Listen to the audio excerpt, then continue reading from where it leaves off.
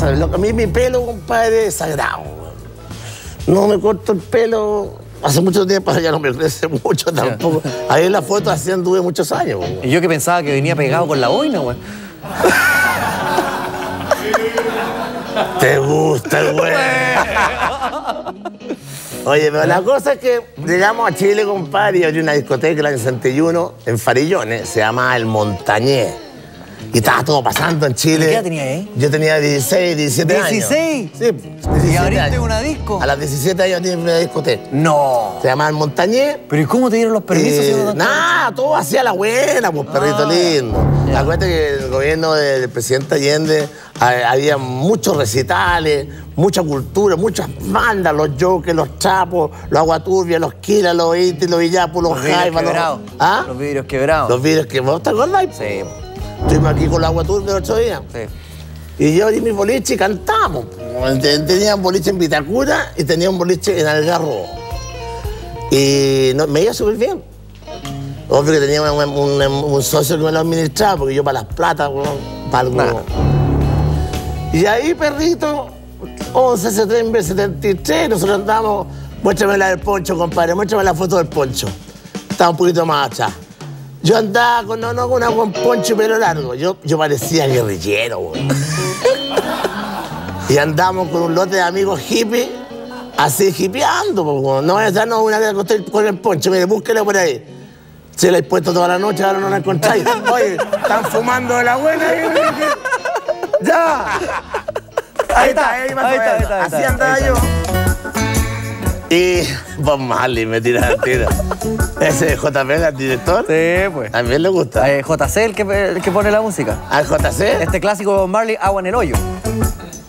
Agua, agua en el hoyo, agua en el hoyo. Oye, me gusta, güey.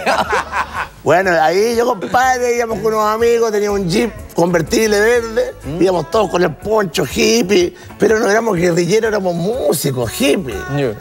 Y entré al túnel Los Bravos en la mañana sin tener idea que estaba la en la moneda, pues, compadre. Golpestado.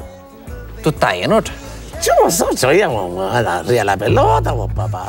A pasar, a pasar la semana a Viña. Teníamos un bolichito en Viña. Pasamos Túnel Los Bravos y cuando salimos Túnel Los Bravos, una patrulla, una patrulla militar. Y ven a estos chascones con pelo largo. Son guerrilleros estos, weón. Nosotros, mis oficiales, no tenemos nada que ver con políticos, somos músicos, somos hippies. A ver, a ver, a ver, carnet de carnet de documento. Yo tenía pasaporte diplomático. Acuérdate que veníamos llegando, mi padre era embajador. Pasaporte diplomático. oh, y ahí ya te galluca nomás, weón, ya te vuelva. Detenido al Fortin Prat. Cinco días en cana.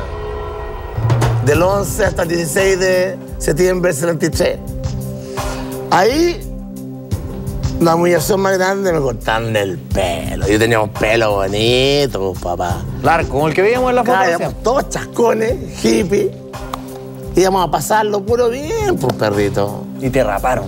Y ahí, compadre, me soltaron. El otro día me tomé un Pero Antofagasta. espera, y cuando estuviste ahí en. Me tomé en- un búho Antofagasta, un búho. Pero cuando estuviste detenido, ¿te pasó algo? ¿Te hicieron algo más aparte de cortarte el pelo? Pues, sus buenas patas, sus buenas peleas, weón.